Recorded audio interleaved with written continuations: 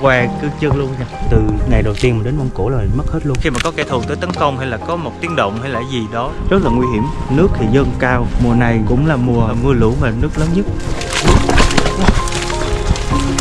Là mảng đuối dữ trời. Đúng là chết luôn á trời. Rất là đẹp rất là chill. Cảnh như trong tranh mà không phải là đi qua đầm lầy đâu. Và đi ở trên thông nguyên mông cổ là sẽ như thế này. Ừ, không hoa không là hoa. Hoa tới đầu gối luôn. Tiếp tục. Wow, con ngựa này nó cực kỳ chân quá 40 cây mà đi trong cái đường này. Té ngựa bị ngựa kéo lê lại tiếp tục nữa đây. Chào các bạn, hiện tại mình đang có mặt tại Mông Cổ và mình đang trên hành trình đi trên thảo nguyên Mông Cổ nhiều ngày không về nhà và sống tại thảo nguyên Mông Cổ. Đêm đồ ăn, đêm liều. Mình vừa bị một chân mình bị mắc vào bên trong cái chỗ đi chân ở trên cái yên ngựa. Sau đó thì ngựa nó kéo mình xoay hết cái vòng này luôn. Nó kéo lê mình dưới đất mấy vòng dưới đây. Và bây giờ thẻ nhớ của mình đã quay 3 tập trong hành trình này rồi nhưng mà bị mất hết rồi. Và mình thấy không? Chú chú đang giúp mình tìm thẻ nhớ. Sáng sớm mình đã phải nhổ hết một đống bụi cỏ ở đây rồi mà mình mất hết tất cả các video mà lúc mà mình quay ở Mông Cổ luôn. Không chỉ trong chuyến này mà từ ngày đầu tiên mình đến Mông Cổ là mình mất hết luôn bạn thấy không? Tìm một cái thể nhớ nhỏ xíu mà trong cái chỗ này giống như màu kim đáy bể vậy. Bây giờ, nếu mà không có những cái tập đầu thì mấy bạn thông cảm nha. Vừa rồi là suýt chết luôn á trời. Bị ngựa đạp là chết luôn á. Nó kéo mình mấy vòng, tại vì thể nhớ mình đầy á. Mình đang dừng lại thay thể nhớ mà con ngựa này, kiểu như nó trẻ trâu á trẻ ngựa. Nó không chịu đứng yên này chú chưa đang giúp mình tìm đây tìm thẻ nhớ ở trong cái đống cỏ như thế này và nghĩ thử một cái thẻ nhớ nhỏ xíu như một kim đáy bể vậy. Mình bị bay luôn cả điện thoại nhưng mà may mà tìm được điện thoại. Điện thoại cũng rất là khó đi tìm nhưng mà vẫn tìm được. Thẻ nhớ thì hình như là không còn hy vọng luôn á. Mất hết all video. Ok. Ok. Chú kêu bây giờ đi qua ngày hôm nay sẽ quay lại thôi. Nhưng mà chú không biết là tất cả các video ở Mông Cổ luôn không chỉ là ở đây wow. Rất là nhiều video hay ở Mông Cổ cảm giác như là số mình là phải mất cái thẻ nhớ này rồi hay sao á? Mình cỡ chúng con ngựa nó không có được ngoan lắm. Mà tới cái chỗ này nha, thì tự nhiên ở đây tự nhiên có cái vật chỗ này nữa làm con ngựa nó mất hồn á rồi mình ờ, vừa nhảy xuống ngựa cái mắc một cái chân vào cho nó kéo mình lê đi luôn. Trên đây là cái đường đi xuống này tự nhiên tới cái chỗ này mình thay thế nhớ. Vừa nhìn xuống ở đây thấy cái vật một cái mình mất hồn. Mình nhảy xuống để mình giữ ngựa lại chứ sợ con ngựa nó mất hồn nó chạy là mình mất thể nhớ luôn. Cuối cùng mình nhảy xuống nhưng mà xui khiến sao mình mắc một cái chân lại vào ở trong cái chỗ để để chân ngựa. Rồi con ngựa nó kéo lên mình luôn và thẻ nhớ nó mất luôn. Đúng là cái số là phải mất cái thẻ nhớ này rồi. Mà bạn xem cái cỏ như thế này làm sao mà tìm được. Cỏ cao nha có chỗ là cao tới đầu gối có chỗ cao gần tới đầu gối hầu như là đều rậm rạp hết. Cái thẻ nhớ nó còn nhỏ xíu à. Làm sao mà mình thấy tay mình bẩn không? Sáng giờ mình nhổ cỏ tay nó như này luôn nè. Mới sáng sớm ra phải đi nhổ cỏ mông cổ. Mà cỏ mông cổ mình xem nè. Một thẻ nhớ rớt xuống chỗ này. Tìm kiểu gì đây? Chắc bỏ luôn thôi chứ sao giờ? Hồi nãy là cái chân mình bị mắc như, như vậy nè. Rồi nó kéo lên mình đi. Ok tiếp tục lên đường thôi. Hiện nay thì mình sẽ cho các bạn xem khung cảnh xung quanh đây ở đây là một rừng hoa luôn. Ở xung quanh là bạn thấy không? Núi và đồi thảo nguyên mông cổ.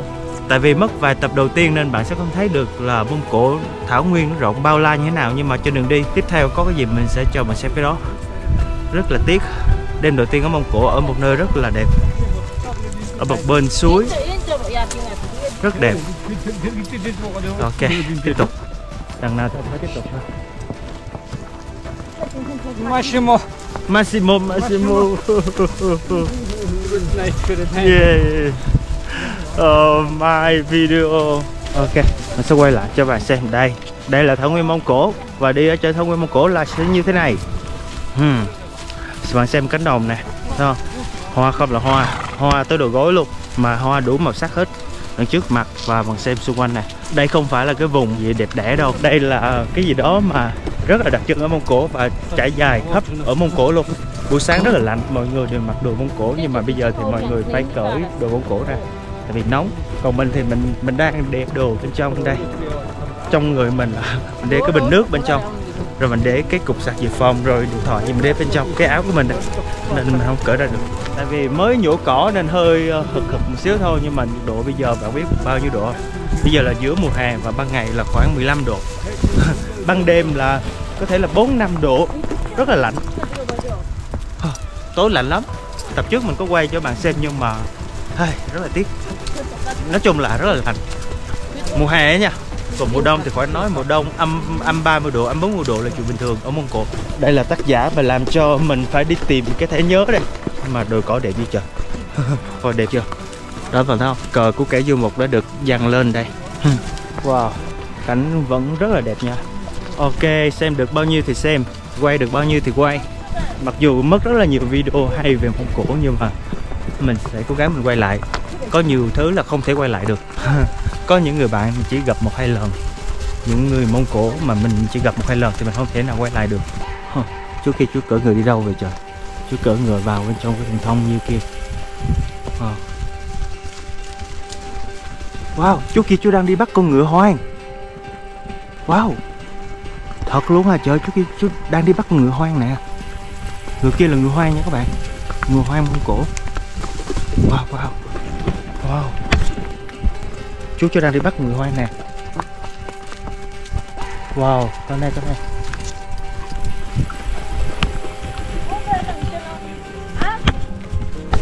thời tiết tại mông cổ thì rất là thất thường. Wow, bây giờ nắng chứ chiều nay là mưa ầm ầm mưa nắng mưa nắng cứ mưa 5 phút là nắng 5 phút mưa 5 phút là nắng 5 phút. Rất là nguy hiểm. Nước thì dâng cao. Mùa này cũng là mùa mưa lũ mà nước lớn nhất. Mới đầu thì tính ra là mình định đi một mình á. Nhưng mà mọi người ở đây không cho. Người dân ở đây không cho. Cuối cùng là chú này chú dẫn mình đi. Tại vì chú biết đường á. Mà trước đó nữa là mình tính đi với Chris. Tụi mình tính đi hai người chuẩn bị rất là nhiều đồ để đi. Nhưng cuối cùng là đi giữa đường thì gặp mưa bão lớn quá. Rồi sấm chớp thời tiết thay đổi thất thường. Người thì ướt hết nữa vượt sông đồ ướt hết hành lý. Tất cả mọi thứ đều ướt hết. Nên là Chris ờ, đã, không còn đủ thời gian để đi nữa nên là Chris phải bay về trước. Và sau đó là mình tính đi một mình. Nhưng cuối cùng mọi người ở đây lại không cho nên là mọi người nói là quá nguy hiểm đi. Và đi một mình thì đã nguy hiểm rồi mà mùa này lại không nên đi một mình nữa. Mùa này nước lớn tùm lum chỗ hết. Nên là bây giờ chú đã dẫn mình đi. Và hôm nay còn có cái bạn này bạn ờ, đi theo nữa. Mới đầu là mình cũng không biết là có bạn này đi theo luôn. Bạn này là ở Hàn Quốc 6 năm là vừa về Mông Cổ được một năm rồi. Thì ờ, bạn xin đi theo luôn. Chứ mới đầu mình cũng không biết. Đó là tóm lược về hành trình của mình tại Mông Cổ khi mà mình đặt chân tới Mông Cổ cho tới tận bây giờ. Wow, bạn nhìn không cảnh xung quanh nè. Đẹp chưa? Đi từ đầu tới cuối là đều đẹp như thế này cả. Đẹp như tranh luôn. Đủ màu sắc hết. Đúng là mông cổ đi đâu cũng là thảo nguyên cỏ xanh mướt. Và ngoài cỏ ra thì còn có hoa đủ màu sắc như thế này. Colorful đủ màu sắc. Bây giờ tụi mình chuẩn bị qua một cái đầm lầy nữa nè. Thấy chưa? Tụi mình đi rất là nhiều loại đồng lầy khác nhau thì mới tới được bây giờ. Tại vì cái chỗ này nó ngập nước rồi sông nhánh sông rồi đủ thứ các kiểu hết. Nước không là nước hết.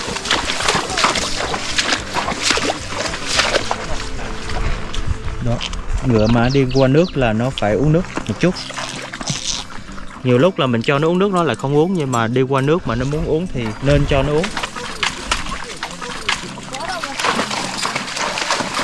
Ban ngày thì ngựa nó không có ăn gì hết nó chỉ đi thôi nên cho nó uống một miếng nước cũng ờ, rất là tốt để cho nó có sức khỏe để nó đi. Con ngựa nó hay đi vào chỗ này nữa trời. Wow con nó wow lại nè. Hay đi vào trong mấy cây nữa lắm. Nước không là nước hết. Đó, đó. đoạn dài còn nước không hết. Còn con này đi mà cứ ăn biết nãy làm mất thế nhớ của mình đấy chứ. Mới đầu là mình đi mình dắt ngựa nha các bạn. Mình cũng dắt ngựa như cái chú đó mình đi một mình đó thì mình dắt ngựa như chú đó. Mấy cái tập đầu là mình đi mình dắt ngựa như vậy. Nhưng mà bây giờ thì uh, sau khi mà quyết định mình đi với chú thì chú sẽ dắt ngựa còn mình thì không có dắt nữa. Tại vì đi với người địa phương thì họ dắt ngựa luôn tại vì họ cũng không có bất tiện gì hết họ quen rồi á. Với lại là người mông cổ họ cưỡi ngựa rất là giỏi nên là họ dắt cho nó nhanh. Chứ mới đầu một mình mình dắt rồi vượt sông sâu ngập đầu ngựa luôn. Muốn ướt hết luôn, ướt hết đồ luôn. Bây giờ thì đồ mới khô, mới tiếp tục lên đường được. Chứ trước đó là đồ ướt hết. À, đi qua hết mấy cái chỗ thơ mộng, quay hết rồi. Tự nhiên mất hết thể nhớ, bây giờ đi toàn đầm lầy không thế này. Đó.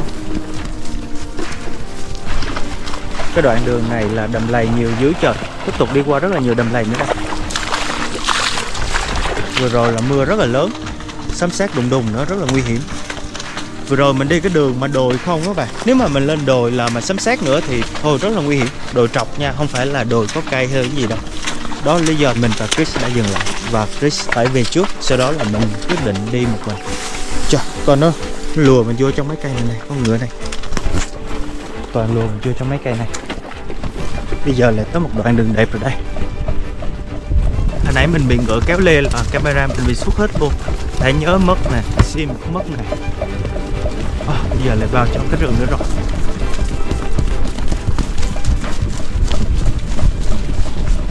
Vì ở Mông Cổ là xứ lạnh nên là ở đây là toàn là rừng thưa nha các bạn. Bạn nghe tiếng gì không?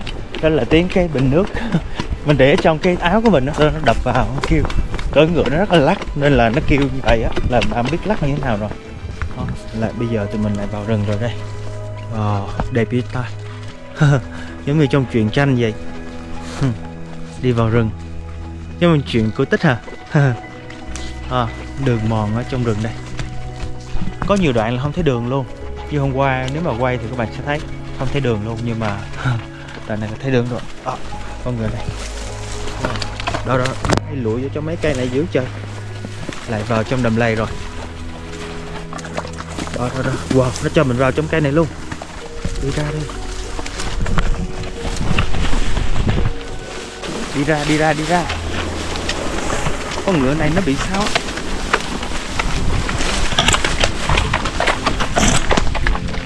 bắt mất mất một cái thì nhớ rồi nha.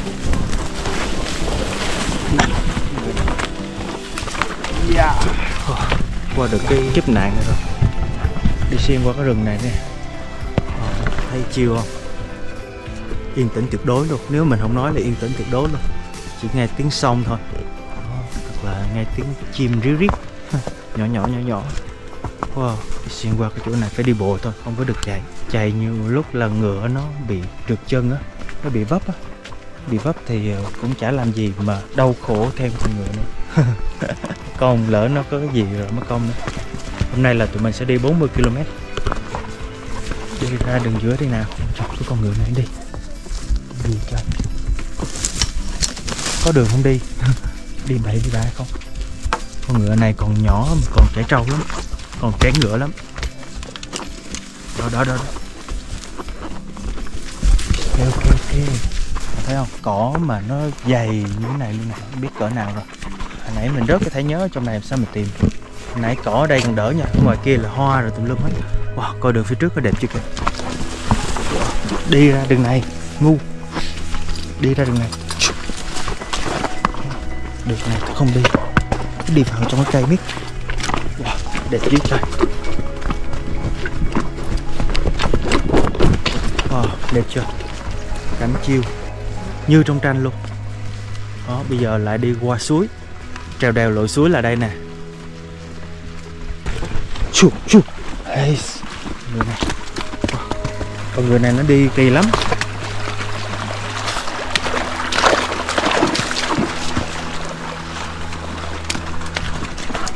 Đấy, đi vào trong cây không?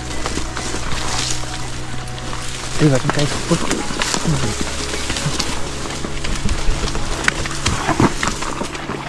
à, đi vào trong cây không hết trời. Wow. đi qua được cái đầm lầy này. Qua cái này wow. Yeah. wow. ngựa nó bị trượt chân quá trời. Wow wow. Người mới bị, bị trượt chân quá trời. Wow. Thấy nó trượt chân không? Wow.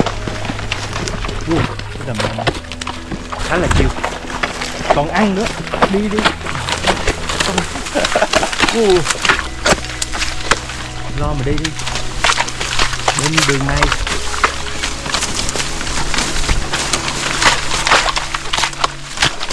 Yeah. wow. đây đầm này nó lún quá trời. Lún, lún, wow. đầm này nó dữ trời. Wow. Đúng là chết luôn á trời. May mà chú này biết đường nha. Một mình mình mà đi cái đoạn đường này mình không chắc là nó có lún. Không wow, đúng là tiêu luôn á trời.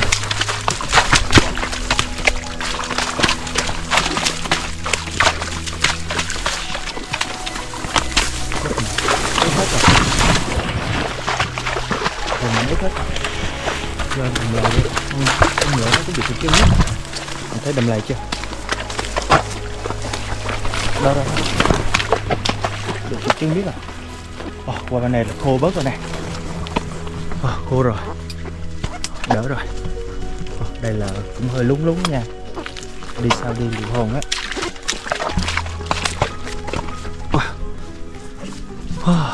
Lại được chiêu nữa rồi. Những tập trước nha, rất là hay luôn.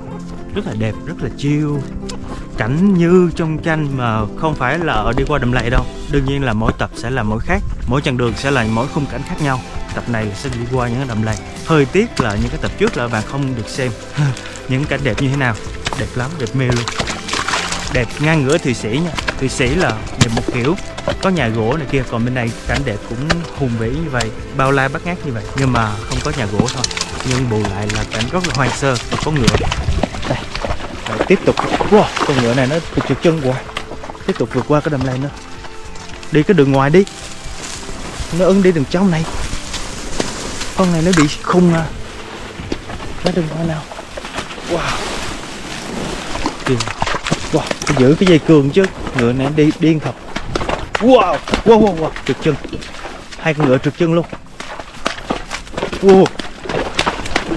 Trượt chân nó nhảy lên nhảy xuống rồi. Ớn thật xúc cái dây hay là xúc ngay chỗ cái chân một phát là dập mặt với nó liền. Và tiếp tục đi vào bên trong một cái khu rừng rậm nữa rồi. Đúng là điên với con ngựa này mất. Làm mất cái thể nhớ của mình. Tất cả video ở mông cổ. À, tiếc quá.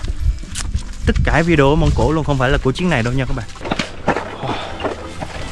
wow. Qua được đầm lầy rồi. Đó, nó chạy lon ton về thì gọi là trot này. Trot. Chạy như thế này thì khó để bắt nhịp nó lắm. Ai mà không quen là không bắt nhịp được. Bạn thấy quay một video rất là cực đúng không? Nên là nếu các bạn xem video này đừng quên like video này để ủng hộ series đi vào thảo nguyên ở mông cổ nha.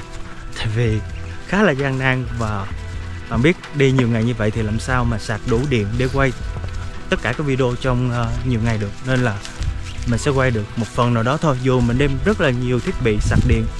À mà có một điều đó làm đi qua xong một nửa thiết bị điện tử của mình đã bị hỏng hết rồi hỏng hết một nửa luôn không sử dụng được luôn. Mình đem rất là nhiều cục sạc dự phòng cũng hỏng hết trạm sạc hay là mấy cái thiết bị đàn đuốc này kia hỏng hết.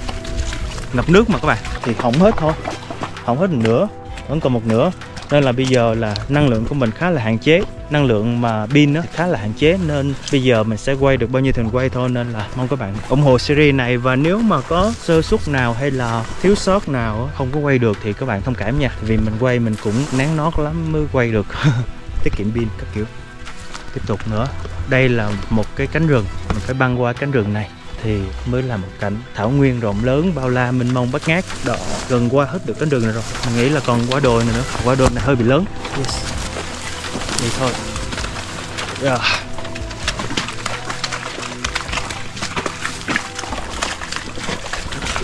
wow. wow chết ba rồi. Mà thấy cái cái quần của mình đều dính nước chưa?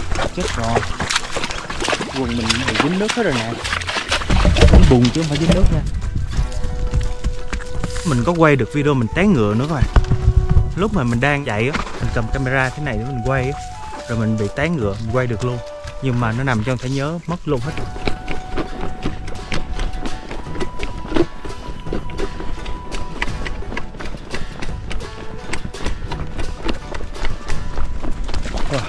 Là đi qua đầm lầy nữa.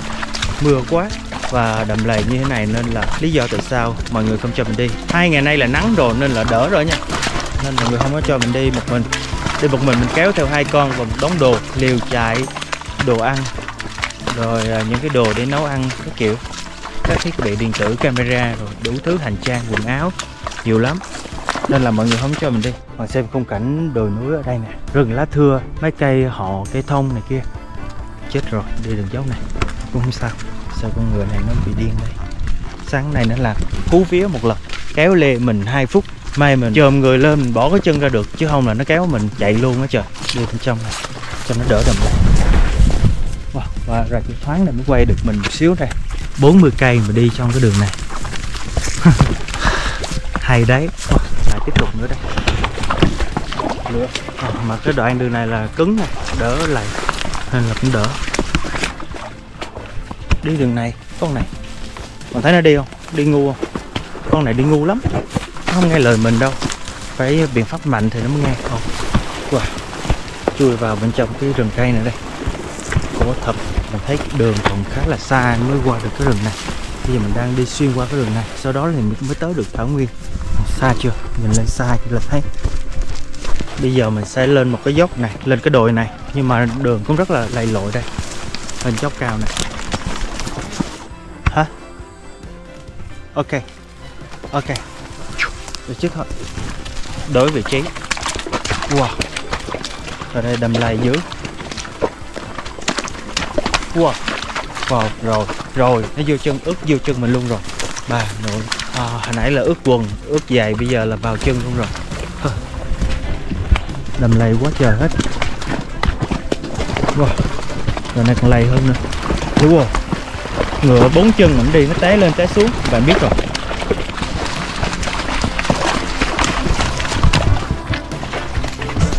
Sau 3 tiếng đồng hồ mình đi qua trong đầm lầy và rừng rậm. Thì bây giờ mình tới một ngọn núi mà bên này là núi đá này các bạn. Xem trên dốc đá này. Wow. ở đây là một con sông rất là lớn. Mà đổ ra con sông đó thì có rất là nhiều cái khe suối nhỏ như thế này, nên là tạo ra rất là nhiều đầm lầy ở đây. Đi ngang qua mấy cái cây này biết không? Phải rất là cẩn thận, chứ không là rách mặt. Nửa ngày đã trôi qua rồi còn nửa ngày nữa. Mình sẽ tới được một điểm.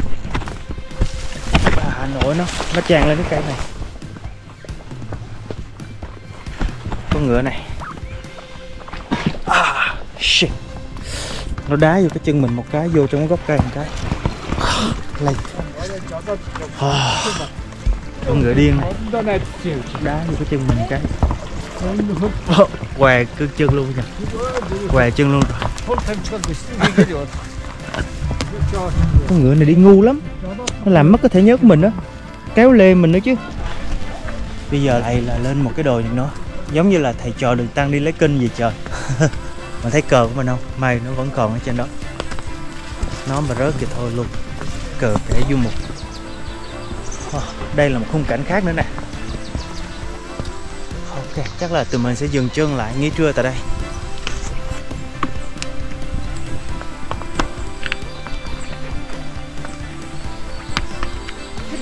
ít tờ ít tờ ok. Nãy mình bước xuống như thế này nè bị kéo lê nè mặc dù mình vẫn cầm dây dây ngựa.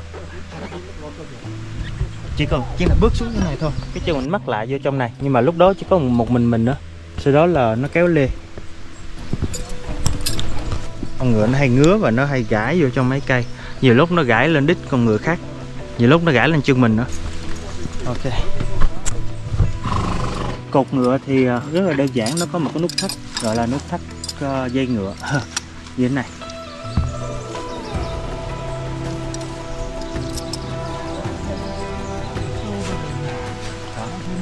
Con này là bên này là phạm trọng tội rồi. Ở đây đi không cho ăn cỏ đâu. Giận chứ ngựa là động vật ăn cỏ. Nhưng mà ngựa hoang thì thường thì nó ăn giờ nào nó ăn nhưng mà ngựa mà mình nuôi á ngựa mà chở đồ hay là này kia thì ờ, chỉ ăn vào ban đêm thôi. Ban đêm ăn rồi ngủ luôn còn ban ngày thì phải chở rồi. Nhưng mà nó sống như vậy quen rồi sinh lý của nó như vậy quen rồi. Ban đêm á thì nó ngủ đứng ngựa là động vật ngủ đứng. Tại vì ngựa lúc nào nó cũng rất là nhạy cảm nó sẵn sàng chạy bất cứ lúc nào. Khi mà có kẻ thù tới tấn công hay là có một cái gì tiếng động hay là gì đó làm nó nhạy cảm là nó chạy. Đó cũng là lý do tại sao mà ngựa ngủ đứng nó được hình thành từ hàng triệu năm nay rồi. Ok mình sẽ không dừng chỗ này. Mình đi lên chỗ khác. Tiếp tục thôi tiếp tục lên núi thôi. Cho ngựa nghỉ một xíu là lên núi thôi. Kéo hai con ngựa lên lên núi. Hồi trước mình cũng đi như này. Một, lúc mà mình đi một mình mình cũng đi như này. Lúc đầu kéo và con đằng sau chở đồ, cứ đụng đầu này, đụng đầu kia. Lên núi cao đây, vượt qua cái ngọn núi này mới được. Không biết có yêu quái không? Trời. Wow, núi cao núi này đi bộ chắc chết đó trời. May mà có ngựa. Wow còn có dốc có đứng nè. Cho ngựa nghỉ. Ok rồi đi tiếp. Kiểu như cho ngựa nghỉ nữa. Người ta biết lượng chừng được. Wow, dốc có đứng.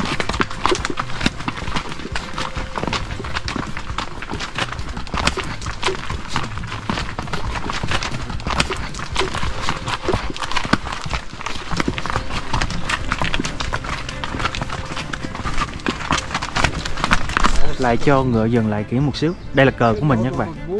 À, giống như thầy trò đường tăng đi lấy kinh vậy. Và trải qua rất là nhiều kiếp nạn trong đó có một kiếp nạn đó là mất thể nhớ và té ngựa. Bị ngựa kéo lê. Ớn thật nhưng mà trải nghiệm. Lên cái dốc này nữa nè. Cao chưa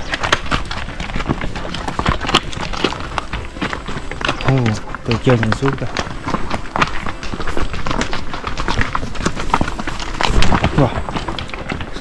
xem rừng đá chưa? Mấy cây khô ngã được tạo nên giống như là một cái địa hình nào được lập trình sẵn vậy? Giống như game vậy trời. Bây giờ là qua tới cái màn đi rừng. Khá là nắng nha. Okay, tiếp thôi.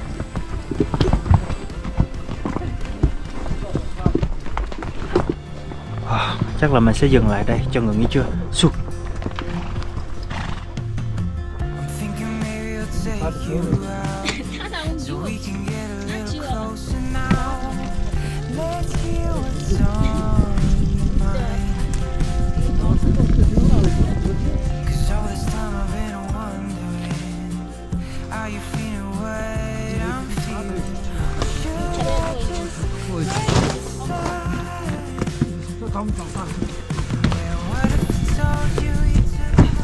lại ăn trưa thôi. Như thường lệ đó là buổi trưa là tụi mình sẽ ăn bánh này thôi. Buổi sáng và buổi tối sẽ nấu nhưng mà buổi trưa thì sẽ ăn thôi tại vì lấy ra lấy vào nó tốn rất nhiều thời gian. Đây là ngựa của tụi mình đây. Ok. Giờ mình sẽ qua đây ngồi ăn đi. Bánh đồ bể hết. Tại vì để ở trên lưng ngựa với lại cột rất là chặt. Cột không chặt là nó lỏng liền à mình đi là mình cứ ôi trời nó bị hết rồi nè. Wow nát bét luôn. Coi nè. Thôi nhưng mà bây giờ là bể hay là không bể không quan trọng quan trọng là ăn cho no đã. Có cái lót vào bụng đã.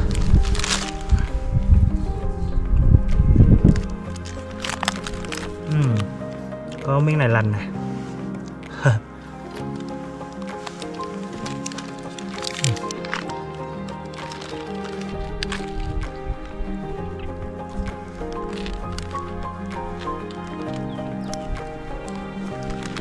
bạn thấy cái bụng mình như bụng bầu không? Tại vì bên trong này mình để nhiều thứ. Điện thoại rồi, dây sạc rồi, cục sạc rồi, thậm chí là bình nước.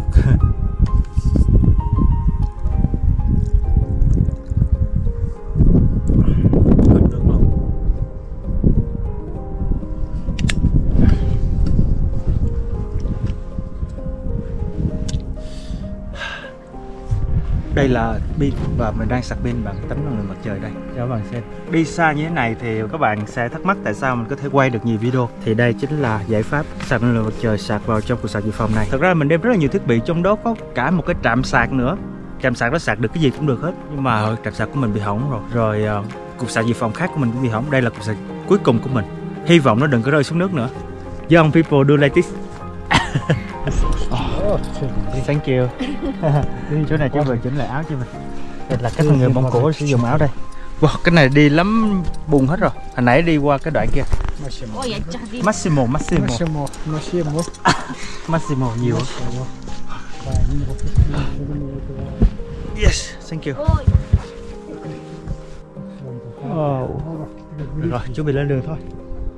Nắng rồi bây giờ là mấy giờ trưa rồi nhỉ Bây giờ là 2 giờ trưa rồi. Che nắng lại mới được. Ok, đi tiếp thôi. Và bây giờ là mình lên ngọn núi rồi. Có thể là mình sẽ đi xuống núi. Xuống núi, sau đó là mình sẽ băng qua một con sông rất là lớn, Rất là lớn luôn nha. Còn bây giờ thì hẹn gặp lại các bạn trong video tiếp theo.